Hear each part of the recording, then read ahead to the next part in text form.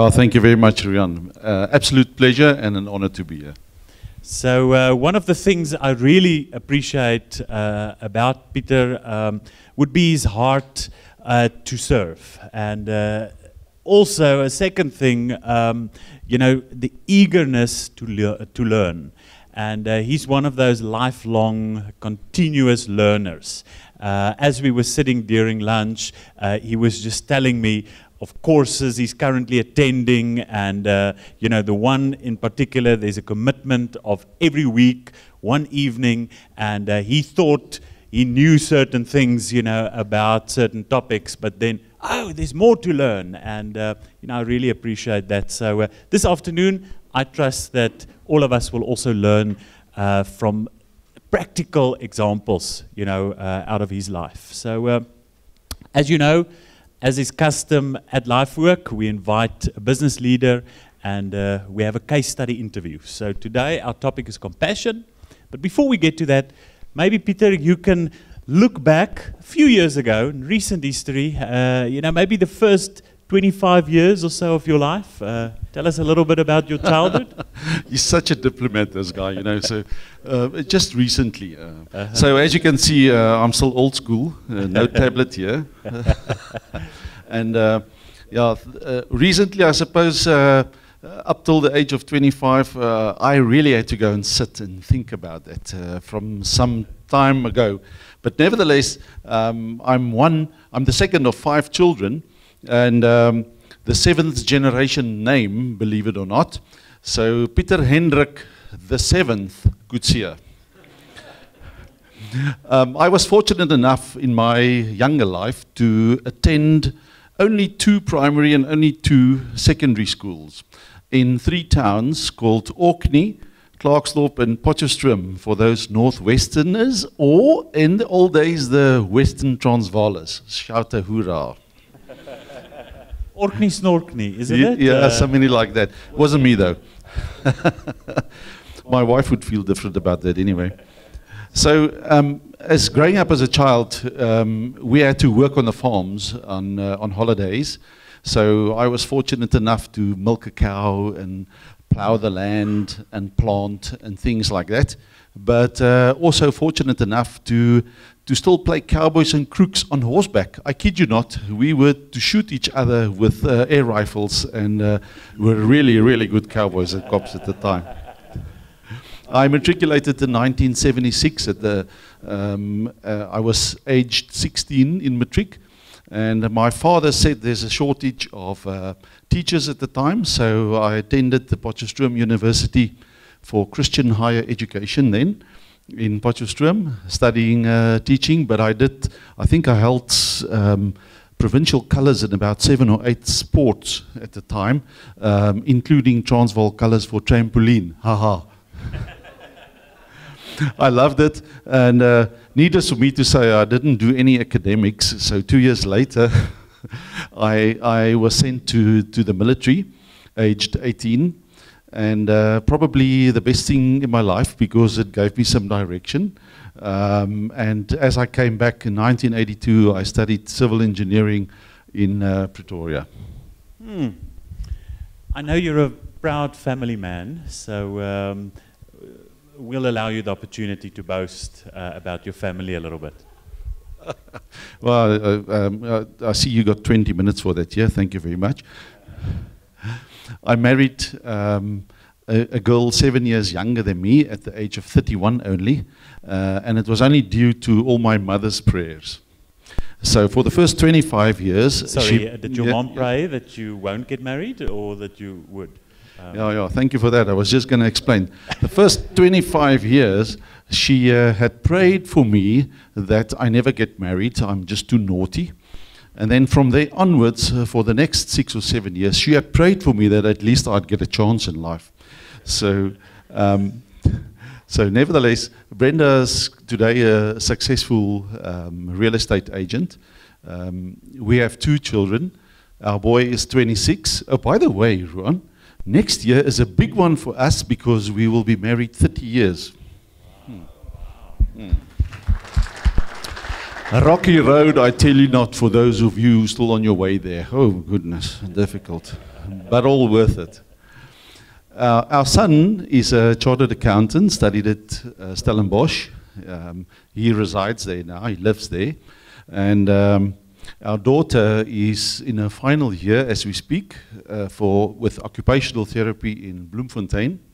So hopefully next year she can come and do a hospital here in, in Pretoria. Um, I would want to tell you an interesting story about Pieter Hendrik the Eighth. My wife said uh, when she woke up in hospital when he was born, uh, he was already registered. Uh, true, maybe. Nevertheless, so I gave Pieter all sorts of instructions going to university and things like that in his first year, saying, Look, you must be balanced. You must try everything but retain the best. So in your first year, if you have, if you pass any, if you, if you fail any subject, you come home. If you pass any subjects with more than 55%, you didn't balance, you're going home either. so he had a very good strategy. He got uh, what do you call a re-examination? Yeah, yeah, a re-examination. He had about four of those. So then, of course, they only mark till 50 and you pass. I'm joking. And then in his second year, I said to him, you better look and find a girl, which he did. So and I said, You're only going to find her in one place, and that's in church. So one Sunday, he walks up to this girl. He's seen her there a couple of times, believe me. So he gears up enough courage and he walks over and he says, Hello, I've been looking at you for some time. I'm so eager to meet you. My name is Pieter. And she bursts out laughing. And he says, oh, What's so funny? He's like sort of taken aback a little bit. She says, You won't believe it. My brother's name is Peter and he enjoys it and he laughs with her. And she says, Oh, by the way, um, what's your name? And she says, My name is Nadia. And he cracked himself. Guess what? His sister's name is Nadia. and they had a good laugh about it. Good thing is, today, everyone, I am father of two Nadia Coetzees. How wonderful is that? Wow. So uh, you are the managing director of SelfTrack. Um, tell us a little bit about this company um, which you lead, and uh, what is it you guys do exactly, and uh, how big is your team? Yeah, thank you, Ruan. Um, SelfTrack. Um, I conceptualized that name um, about 14 years ago when I wanted to, to disrupt the tracking environment, and said that technology has grown so much you should be able to track yourself, manage yourself, um, configure or set up the driving behavior of something you use yourself. So this whole philosophy of self-manage and track was born.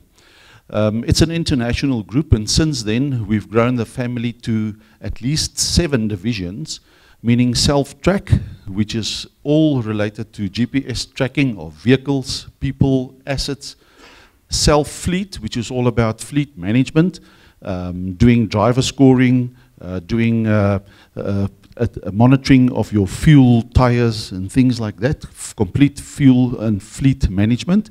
Also, Self Cam, which is live camera streaming technology, again in the fleet environment or logistics environment. Another division is Self Route, where we do optimized uh, routing and scheduling to again assist the fleet owner. And also, we had developed a platform called Self Help, which is a personalized emergency assistance um, mobile application. And then recently, we've added Self Rent, which is an asset financing component, and also Self Insure, again to assist the fleet owners um, so that they can do insurance. The team and we're currently busy rolling out approximately 12 licenses across uh, South Africa. But the team uh, serves, um, you know, uh, a workforce in excess of 650 people that uh, that varies from executive management level straight down to installation technicians and also the guys with the short hair and the bulletproof vests, the uh, the armed recovery force agents. So uh, I know uh, some time ago there was a significant uh, encounter you had. So um, when did Jesus become a reality to you? Yeah, so you must have heard I've been hit a lot when I was a small uh, boy. Um, so I grew up Christian. um, I was also a deacon in the in the Dutch Reformed Church at some stage, simply because my mum said so, I suppose. Uh, it was nice to be in that environment as well, but never really, I suppose, grasped the uh, um, the value of it all as a as a person. So um, God has got such a sense of humor. He gave me kids, and that taught me a lot more than I had ever learned before. So it was around 20, 2010 when, um, when my son got home one night and said they were at Sunday school preparing for um, inauguration into the church and things like that. And I asked, So, what did you learn? And uh, he said, No, mm, not really. There, weren't, there was nobody there, so we just chatted about what the guys did last night and things like that. So we became really concerned and started looking around and asking around, and we didn't get any answers. So we started church searching. So we eventually found a church which we loved. We loved the uh, the whole idea of uh, of city changing and everything that's connected with it. It was quite a change for us. Um, but uh, a year later, we got baptized um, and we adopted the church in total and became so involved that we had attended just about every course that, uh, that, uh, that was offered. And in attending those courses, became involved so that we can stay on as facilitators and, and help um, to take that course further, to get more people involved. So um, that, of course, also because of our involvement in the church, uh, it elevated us to a place where we could start a small cell group, a family cell group. It started off with two people, and eventually we ended up with six families all together in that. Um, we did that for a couple of years, and then I started getting involved in uh, area facilitation so that we can plant more cell groups and things like that. Um, I think you've mentioned I did one of the, I was a pilot and one of the first, in the, in the very first leader, LifeWork leadership, it was held in 2014. Um, and I wanted to be involved in facilitating with that later as well. I did the, uh, the full bring the not do but done course. I facilitated that for a couple of years. So when people ask me how I get involved and how I stay involved in these things, I, I usually say that uh, I do, however, keep an electronic diary, by the way. Um, and whenever there's empty space in my diary, my, my PA uh, must know that that's kept open because uh, I fill it with God's work. Everything that's open, I just fill it with God's work and I keep it involved. And I, I try to be involved in the church and the people around it because that keeps me um, sane, I suppose. Now, on the on the topic of compassion, um, can I ask you uh, your definition of compassion? Um, what does it mean to you? And uh, then we'll discuss maybe a few of the examples of of um, organizations and places uh, you got involved with. Oh, I thought you were going to ask me easy questions. You know, that's um, I mean, you've obviously looked up the definition, and there's so many definitions of compassion, but it's, um, I still sit here today and I think I'm compassionate. And I think whatever I can do is compassion. And if I think that I tell you the definition for me now is to be as good to others as you can possibly be, I still sit here today and think whatever I'm doing, is just way too short. Man, I can do more. I can do definitely more. So, um, my definition of compassion, I suppose, is to do as best as you can, but to be the beginning. Let that be the beginning of what you can still do. So, um, having said that, perhaps um, um one of the reasons, maybe, why you invited me to talk about compassion is I sat in this very hall many years ago and I'm not sure if um Francois van Niekerk is still part of the process or he has been already this year or not. Are they? You will meet him later. This young man, which is about 10 years older than me, or maybe more, inspired me a couple of years ago, probably five or six years ago already, in a message of uh, what I thought was, uh, was absolutely great. So what that is is that he said that he reached a point in his life where he had to hand over a part of his business to to God. Um, it inspired me, so I had started a journey, and today I can share with you that I had uh, transferred. Well, let me first say, um, because I wanted God to be part of my life, real life, and real business. I said the only way in which I can do that is to also give God more than half of the business that I own. So we created a trust that we named Tehillah. Tehillah is the Hebrew name for praise and worship. So we transferred more than half of the shares of the company into that trust. And that trust, we then went on an extensive search for beneficiaries that would be part of that trust, which is God's work. We wanted to have an enterprise type of, uh, um, of beneficiary. We also, our hearts also led us to, to uh, women, and, uh, and then we also looked for somebody that is small um, and really in need of assistance. So after probably about 18 months or 24 months even, we had selected three beneficiaries. The, the first one is Pop-Up. Thank you very much. Um, and uh, we are so excited that, uh, that Pop-Up is part of our business in many, in much more than one way. Um, so secondly, we also adopted a company called Women Against Rape, and we support her, Jolene, in the things that she, that she does. And then a young girl that studied in Pretoria um, as BSc geology. She had finished her studies at Tuks and couldn't find a job. And then she started doing community work. And after that, she uh, was asked to come and help at the local school um, out in KwaMhlanga. It's about uh, an hour and a half's drive out of town.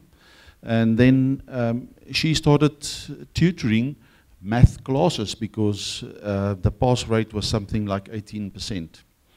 So when we came to her and we realized the absolute need that she was experiencing, we adopted her as a beneficiary as well and included her in the company.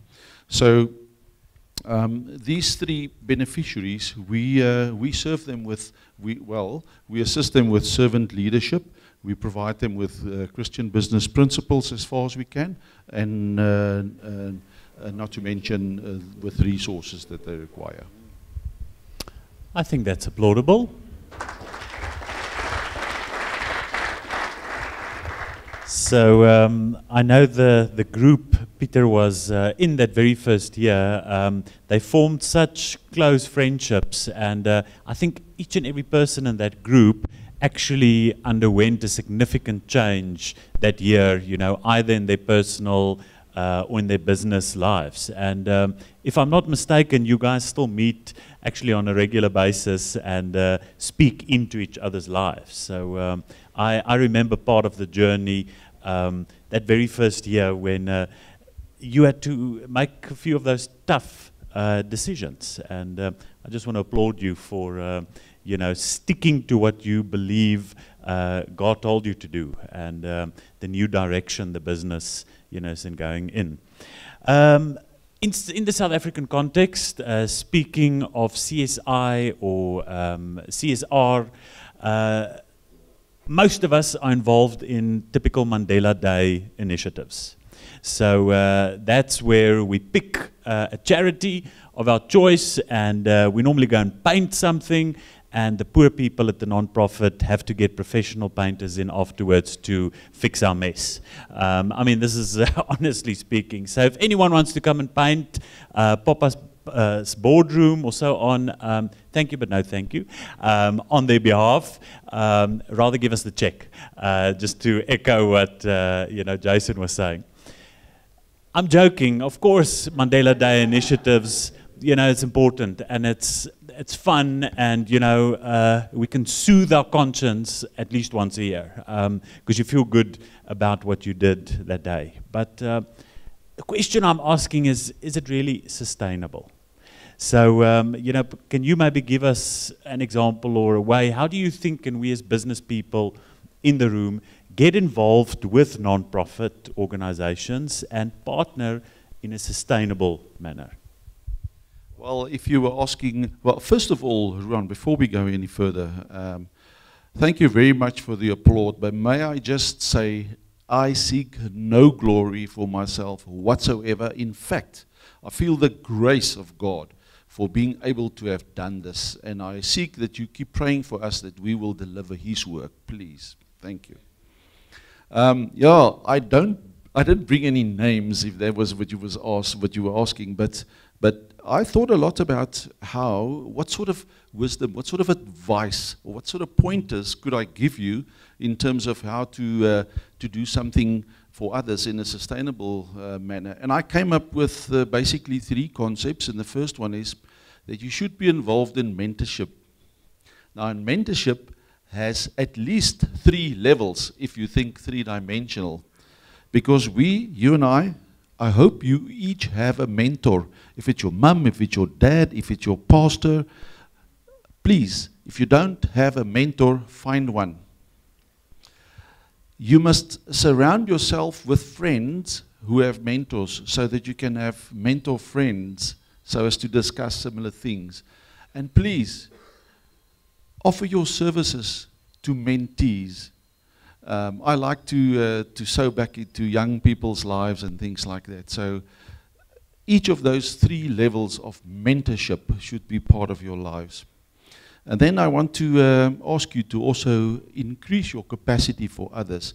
You should value people every day. You should be more valuable to others. You should put yourself often in somebody else's shoes. You should focus on giving rather than getting. Be consistent in that what you do. Make memories for others. And last, uh, move towards the kind of relationship that you desire for yourself. And Jason, thank you also so much for that message on relationship because I want to say something about that as well. Develop your relationships. Um, our relationships with others is just a pure reflection of our relationship with God. Isn't that true? So I want to give you this scripture from Hebrew 10, um, verse 24 to 25. It comes from the Amplified. It says, Let us consider thoughtfully how we may encourage one another to love and do good deeds, not forsaking our meeting together as believers for worship and instruction, as is the habit of same of some, but encouraging one another and all the more faithfully as you see the day of Christ's return approaching. May that inspire you to be compassionate. And then, last but not least, perhaps also uh, some advice that, uh, that I've experienced. I've made two notes here. One is that uh, you shouldn't be giving anything away for free. For free means it's got mm, little value, or if it has any value, it's not going to last long. I want to share two examples with you in giving something for free. Um, this one of these beneficiaries um, required a fridge in a house because the, the fridge that they had packed up. And my wife Brenda had just received, uh, she sold somebody's house who moved overseas, and uh, a fridge was staying over in that house. And uh, she sold the house, and then the lady who sold the house said, Well, please just take everything out there. So now she's got a, a fridge, and um, it's in the store, it's taken out of the house, and now uh, this person in KwaMhlanga, in, in, in Mpumalanga, uh, who doesn't have a a house, um, I take the a bakkie and I go and deliver it there. And she says, Thank you very much, and so on. And then I said, uh, You owe me 800 Rand. Hmm. Is nobody going to throw me with something? Remember, I got it for free. So then I said, um, well, it's a, it's, a, it's a Bosch, and it was a 20,000 Rand fridge, by the way. And I said to her, make me a price, whatever. I didn't ask her for the money. I just said, make me a price.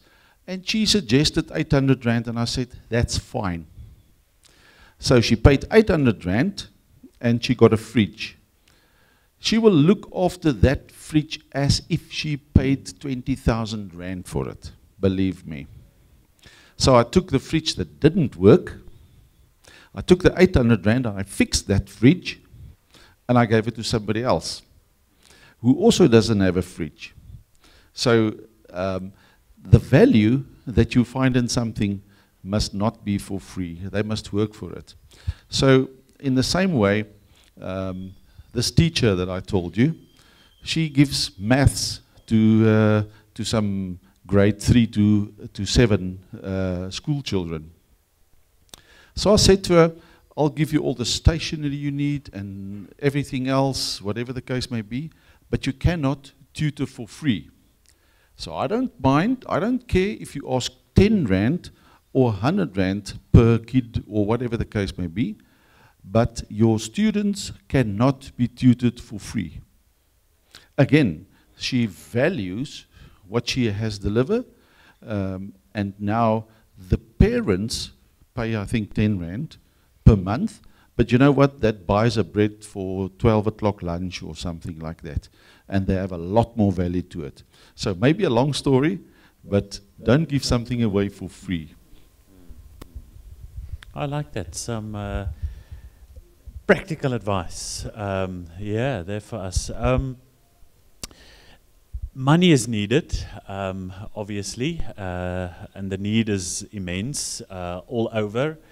Uh, but I want to challenge you in the room to, to start thinking, you know, look at what you have uh, in your hands and uh, you know what you have received and maybe um, it's monetary and you know maybe you can uh, bless others financially but maybe there's certain skills um, that you have or that even within your organization which might be what a non-profit organization is needing within our city because the goal is to transform the city um, uh, into a place where where God can reign and where His kingdom, you know, can be can be established. So uh, go and think about this. Go back to the drawing board or your boardroom and think of ways. You know, maybe it's like in Pieter's case, we have to restructure, you know, the way you do things. Um, but maybe it's volunteering. Um, you know, certain things. If I can. Uh, brag a little bit about uh, what we did at Biggin. Um, we, we are encouraging um, all our employees to spend a minimum of four hours per month in a non-profit environment. So during office hours, um, uh, we pay for that, but uh, so they come and taking your grandmother shopping or you know going to have your own nails or hair done does not count. Um, so uh, our staff need to come with certain um, proposals, and then we approve. Uh, along with you know uh, executive management. Yes, these are um, you know the the types of non-profit environments um, we want to be involved with, and because we employ a lot of technical people as well, civil engineers, and and and sometimes it is technical skills which we uh, you know contribute uh, and on a pro bono basis, but other times it's going and helping young school kids, primary school kids, with their homework um, in less fortunate areas. Um, on a regular basis, we found the sustainability for us was not that once a year hit and run approach, but building relationships and asking questions. And I'm happy to say that all of us um, always feel more blessed than the beneficiaries. Um, and we learn way more from them uh, than what we might uh, go and try and teach or you know share uh, skills with. Pieter, tell us about a certain dilemma. Um, you know, uh, a situation, uh, and before you're going to give us, you know, the solution or the answer to this, we're going to turn back to the class and we're going to ask them to to tell us what they would have done in your shoes. Um, what was that tricky dilemma? Uh, well, I don't have any uh, rocket scientist problems for you, but I kept it easy for you today. So I'll, I'll sketch a situation in which we were recently, and then I'd love your ideas on that. So after the fridge and all the work we're doing there, I'm strolling through the streets of Allemansdrift C in KwaMhlanga, and uh, I meet up with a couple boys there, and uh, they just sit around chatting. So I start talking to the guy, and uh, this one guy, um, Tabu Mdaka, he's 18 years old. He finished matric in 2017, uh, and this was in January of this year, by the way. So um, I ask him, so what are you doing? He says, no, nothing. Uh, they don't have anything to do. So I say, uh, you don't work anywhere? Don't, you, what do you mean you have nothing to do? He says, no, we have nothing to do. We sit here. I say, all day? He says, yes. I say, every day? He says, yes. Um, so I, we have a chat, we talk about things, and he tells me more. From time to time, he would go and do a bit of community work um, at, a con, at a community center not too far from his house. Um, but he doesn't drink, he doesn't smoke. Um, they just basically sit there and do nothing. And I ask him about what he wants to do and things like that. And he's got all these dreams and he's working on them, but he's got nobody to direct him to that. So uh, we chat away, and eventually he says, No, I like your car. I say, Well, let's go for a spin. I take him to the shop. We buy some Coke and chocolates and whatever the case may be. And he says, Oh, this is really a nice car. Um, he'd love to work on a car like this. But if he could, he'd be an engineer. Oh, man, my heart just broke. What did you do? You've met Tabu, uh, 18 year old, unemployed. Uh, we assume no resources to go and study. Um, and this is a situation all too familiar with us. We probably face or drive past lots of tabus every day, youngsters um, that seem to not have hope or a future millions and millions of young people within our nation. Now, what do you do for this one? Let's take a few minutes and come up with a few creative ideas around the table. Okay, uh, are we ready to hear how the Lord led uh, Pieter and his family to act uh, in this specific situation? Yeah. He will also need a microphone, uh, Gerrit. Yeah, thank you. And uh, yeah, wonderful ideas from everybody here. Um, and may I just commend you all, because everything that you did is better than not doing anything at all. So thank you very much for that. We, of course, went home. Um, I have some friends. I phoned up a friend and I said, he's got a, well, Tabu did say he liked to work on cars and things like that. So I phoned this friend and I say, um, would you like to take a new apprentice mechanic? He says, Well, I don't really have the place. And so I say, um, First of all, you don't have to pay him anything. Um, I'll pay for him. He says, Oh, well, I can use somebody to wash the cars and um, then I said to him, but he stays in Mpumalanga. It's an hour and a half's drive by car. That's your and my car. If they have to travel by taxi, by bus, it's a two and a half, almost three hour drive, which means you have to leave at three o'clock in the morning. That's not on. So the Lord then directed me, I kid you not, a block away from Hansi is uh, in Faerie Glen. Um, it's an old woman Tani. It's an old uncle and aunt. Sorry. And uh, they run a guest house it's a guest house for the needy people. So it's literally a string of rooms with electricity, but the room is hardly three by three meters and with central ablution facilities. But it's dirt cheap and it's perfect. So I then um, appointed Tabu in my company as an uh, internship with a very, very small and basic salary. I have him start at this motor clinic as an intern mechanic, hoping that I could train him better in the longer term to become a mobile installation technician on our business, etc., etc. So there's a future for him. And I tell him that so he knows he's working towards a bigger goal. So then he stays in this little room, uh, he pays his rent, uh, and he's got a couple bucks left to buy bread. We provide him with protein in the, in the, in the form of eggs and whatever the case may be. But uh, he eats well, he lives well, he stays well, he works well.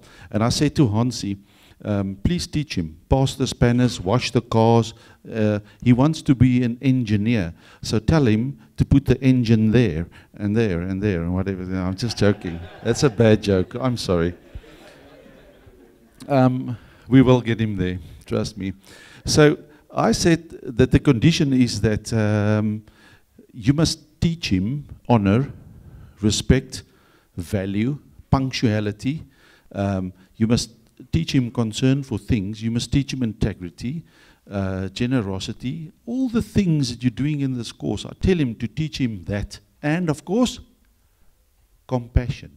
Teach him that. So he must learn that in his work. So um, it's wonderful. Um, I, I see him regularly because I said to him, part of your salary is to come and work at my house on Saturdays. Uh, to follow further up on his apprenticeship. Um, and there's a reason for that. Remember, nothing gets for free. I want him to make an effort to get up on a Saturday to come and work with me.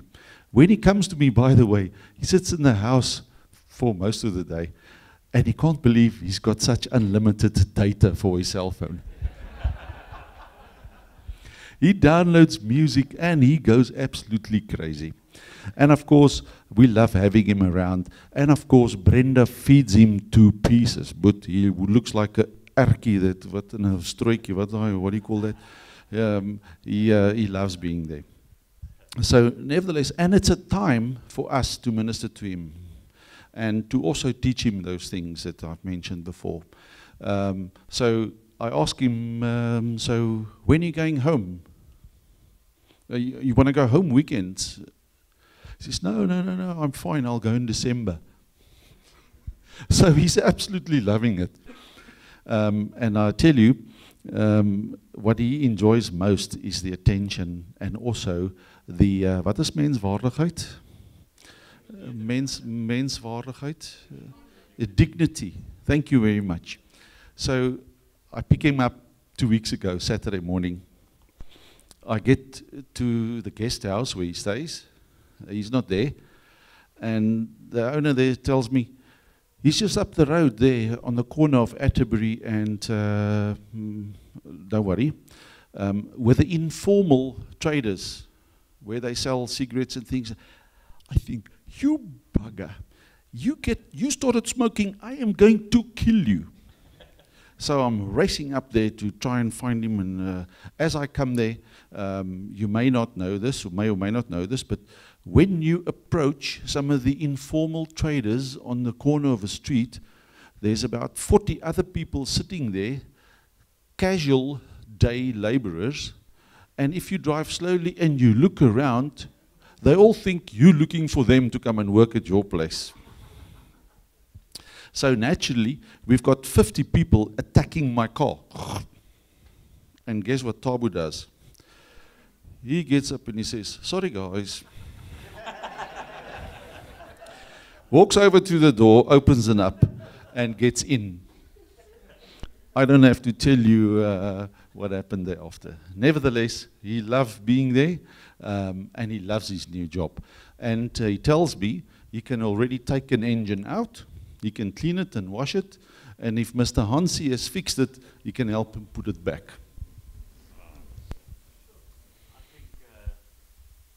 I think that deserves a round of applause, even though Pieter doesn't want it. Um, it's amazing. So um, the question is, who is the Tabu that uh, God wants you to meet and to reach out to, and uh, in what way? So um, know that he's coming or she's coming, and uh, it might be more than one. And what I want to encourage you with is um, how often do we feel overwhelmed by the uh, size of, of this problem um, that we just don't start or just don't do anything at all. And there's that um, cliche story of the guy on the beach throwing back the starfish that uh, got into trouble there on the beach. And someone walked up and said, But what are you doing? And he said, No, I'm picking up starfish and I'm throwing it back. And he said, But there's like hundreds or thousands. What? Doesn't really mean anything. And he said, Well, for this one, it does make a difference. And threw it back. So, uh, who's that one person uh, you can be used to, to change his or her life? Um, maybe, uh, you know, seeing that we just came out of uh, elections and uh, automatically not all our problems were just solved overnight. Um, we are in South Africa, we are in the African continent, and we face, well, globally, we face challenges. Um, we're mainly business people in the room. Do you have advice for us or, you know, motivation? Uh, should we stay here? Should we all, um, you know, put in our applications to immigrate uh, somewhere colder? Uh, or, or did God perhaps intend for us to be here? We're going to Texas, we're going to stay with Jason. I'm not going anywhere. I'm staying right here and I'm loving it. Um, and yeah, for sure. Um, I, I wanted to share something with you that I read this morning. Um, you know uh, John, Dr. John Maxwell very well. Um, and this is about positive thinking. So thank you very much for that because that's one of the first things I would say is that we should all uh, um, exercise positive thinking. John writes it like this He says, The people who see God's hand at work most in their life are the people who look for God's hand at work. They live expectantly, believing that he is interested and involved in the day to day matters of humanity. People who don't often see God's hand at work tend to think of him as distant or disconnected. And because of this, they don't expect to see much in the way of his power. It's why the Apostle Paul wrote in Philippians finally, brothers and sisters, whatever is true, whatever is noble, whatever is right, whatever is pure, whatever is lovely, whatever is admirable, if anything is excellent or praiseworthy, think about all such things. Guys, just let's just be positive. And then my 10 point plan for effective leaders. I'm just going to rush through these 10 points, but I love them. Have a clear vision, guys. Um, embrace change. Have passion. Live with passion. Do your business with passion. Have integrity. Be humble develop your people, be accessible, give credit, be servant, serve you, serve, and of course, have a higher purpose. I like that. Thank you, thank you very much. Uh, Pieter, maybe uh, any final thoughts? Um, anything the Lord uh, might yeah, in your heart? Yeah, definitely. Um, I wanted to thank you, Ruan, for the opportunity. Also, perhaps it's just as a final note. At first, I thought I'd talk a little bit about it, and then I got I, I uh, decided on the message that that you gave on this topic of compassion as well. I'm going to repeat it in a while, but I want to bring back my original idea and what I wanted to share with you, and that is that we serve a triune God. God Father, the Son, and the Holy Spirit. Just like we, you and me, are triune in body, soul, in spirit. So exercise each of the elements of your body, soul, and spirit to be alive and to live forward and to be and to live in the realistic realm of internal, external, and eternal reality. And then I couldn't other but then just again say the words of Teresa of Avila. Um, namely, that God is nobody on earth but yours, um, no hands, no feet but yours. You are the eyes through which Christ's compassion look out to the world, and you are the feet, the feet in which He is going to go and do good, and you are the hands with, he, with, he, with whom He is going to bless now. And may I ask you all to just stretch out your hands, and with the power of Jesus, you can show it here to pop up and say, In the name of the Father, and the Son, and the Holy Spirit, bless pop up. Thank you very much, Ruan.